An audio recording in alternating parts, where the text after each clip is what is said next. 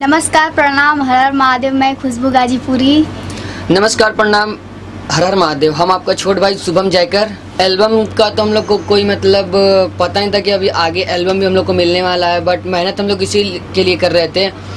और एक टाइम मतलब हम लोग टिकटॉक वीडियो बना के मैं और मेरे भैया हैं, शैलेंद्र भैया, हम लोग गाड़ी से जा रहे थे फोर लेन पे मतलब कुछ अलग टाइप का वीडियो शूट करने के लिए और थीम बना रहे थे। तो भैया का हमारे, समर भैया का मतलब एक बैग इंस्टाग्राम पे मैसेज था। मतलब मैं मैसेज पहले से किया था कि भैया मतलब वीडियो पे कमेंट करते थे और हम लोग का उत्साह मतलब बढ़ाते थे कि नहीं, हम लोग वीडियो बहुत अच्छा बना रहे हैं। तो एक समय मेरे को लगा कि नहीं, एक बार भैया से बात करना चाहिए कुछ अलग और काम के लिए। तो हम किए भैया को, भैया तुरंत मतलब रिप्लाई कर दिए। फिर मैं भैया से नंबर मांगा। फिर मेरे मेरे को भैया नंबर भी दिए उस समय। फिर उस समय मेरे को भैया अपना पहला सॉन्ग दिए थे जब नाचेल हुए धनिया मैक्सी में कमर हिला के तो उस सॉन्ग में कुछ डिले आ गया था मतलब उसको शूट करने में कुछ प्रॉब्लम हो गया था। तो उस समय भैया को कॉल करके बताया तो भैया बोले कि आप ककरी वाला सॉन्ग कर दो आ, इसको हम लोग तुरंत अपलोड करते हैं क्योंकि ट्रेंडिंग चल रहा है और वहाँ से हम लोग की मतलब जर्निंग स्टार्ट हुई और बहुत ज़्यादा वायरल हुआ। और भैया का प्यार है कि हम लोग यूट्यूब के लाइन में आए।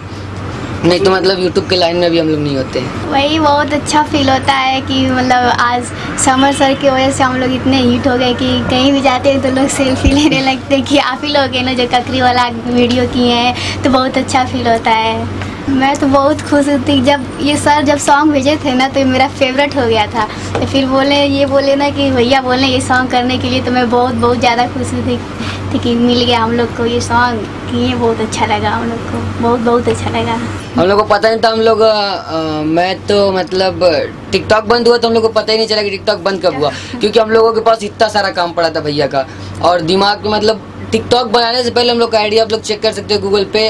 पाँच दिन पहले से वीडियो अपलोड नहीं हो रहा था क्योंकि हम लोग का दिमाग वहाँ से हट चुका था टिकटॉक से छोटे वीडियो से। हम लोग का प्यार आ गया था यूट्यूब पे क्योंकि यूट्यूब पे हम लोग जो भी वीडियो करते थे तो भैया के आशीर्वाद की वजह से यहाँ पे जितने लोग देख रहे हैं आप लोग के आशीर्वाद की वजह से अच्छा रिस्पॉन्स मिल रहा था हम लोग को।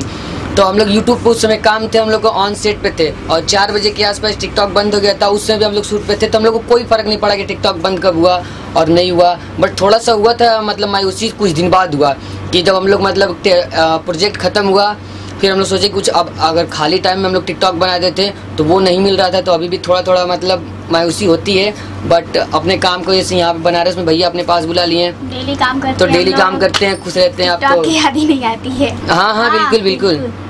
अगर जब तक अपने मतलब देश में एकता रहेगी तब तक तो हम लोग भी हैं। और चीन का है तो ज़रूर उसको बाहर करना चाहिए। बाकी इतना नॉलेज भी नहीं हम लोग को ना कि मतलब क्या है कैसे बस हम लोग अभी मतलब बस था कि एक तो ऐप है बनाना है बनाना है। उसके बारे में नॉलेज नहीं कि क्या हुआ कैसे हुआ क्यों बंद हुआ ये सब तो। मैं टिकटॉक बनाती थी ना तो इनके फ्रेंड थे रोहित भैया तो उनसे पहले बात हुआ। तो फिर ये बोले ना, इनको मैंने फॉलो भी नहीं किया था।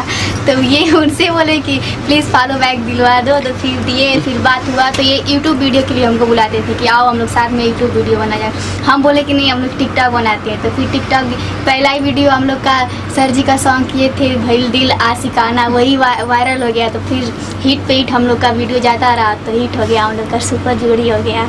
और मतलब जो हम लोग टिकटॉक के लिए यहाँ पे बुलाओ मतलब मैं इनको मैसेज किया था आने के लिए उससे मेरे को टिकटॉक में इंटरेस्ट नहीं था क्योंकि मैं उस पर ध्यान नहीं देता था और मेरे को टिकाऊ ऐप नहीं दिखता था, वो यूट्यूब था टिकाऊ एक तो ऐप तो मैं यूट्यूब के लिए काम करता था और यूट्यूब पर वीडियोज़ बनाता था। तो मैं इनको बुलाया था फ़र्स्ट मेरा वीडियो भी इनके साथ शूट हुआ था यूट्यूब का कल्लू भैया के सॉन्ग पे बट वो कॉपीराइट स्ट्राइक लग गया था मेरे चैनल पे। तो मेरा दिल बिल्कुल टूट गया था क्योंकि उस पर one day one million views आया था। हम लोग का मतलब उस पर बहुत ज़्यादा अभी वीडियो मिलेगा दूसरे के चैनल पे जिसमें चार मिलियन व्यूप्स है। मगर हम लोग का जब मेरे चैनल पे स्ट्राइक पड़ा तो मेरे मेरा मतलब बिल्कुल दिल टूट गया। तो मैं यूट्यूब को छोड़ दिया। अभी मेरे दो चैनल है बट मैं उस पर काम नहीं करता हूँ।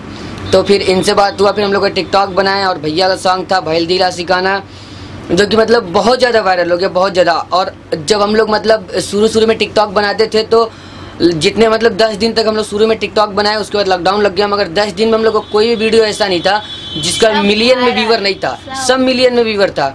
तो हम लोग सोचे कि जब इतना ज़्यादा प्यार मिल रहा है हम लोगों को तो हम लोग टिकटॉक स्टार्ट करते हैं। फिर टिकटॉक हम लोग बनाने लगे। फिर भैया का प्यार मिला और आप लोग का प्यार मिला। आज यहाँ पे बैठे हैं। आज भैया के सेटअप पे हैं जो कि मतलब पहली बार अम, बहुत खुशी हो रहा है कि मैं पहली बार किसी मूवी के शूटिंग पे आया हूँ। भगवान हाजिर हो भैया का। आज हम लोग मतलब दो दिन से भैया को बोल रहे थे भैया हमको भी मूवी का शूटिंग देखना है। तो भैया बोले कि हाँ ठीक है बाबू मैं आप लोग को यहाँ पे बुलाऊँगा। तो आज भैया गाड़ी भेजे थे बुलाने के लिए हम लोगों को। मतलब भैया के घर पे ही हम लोग थे। फिर वहाँ से हम लोग यहाँ पे आए तो बहुत अच्छा लग रहा है यहाँ पे। हमारा इन्हीं लोगों से हम हैं। जितने भी लोग हैं, हमसे जुड़े हुए। हमने पहले भी बोला था कि टिकटॉक अगर बंद हो गया है, कोई भी कलाकार हमारे पास आता है। ये बच्चे बहुत प्यारे हैं, हमारे घर के बच्चे हैं और बहुत सारे बच्चे हैं हम, हमारे पास। और हम चाहते हैं कि सबसे, सबके साथ मिल के सबके साथ जुल के एकदम काम करें, अपने भोजपुरी को बढ़ाएँ, अपने लोगों को बढ़ाएँ।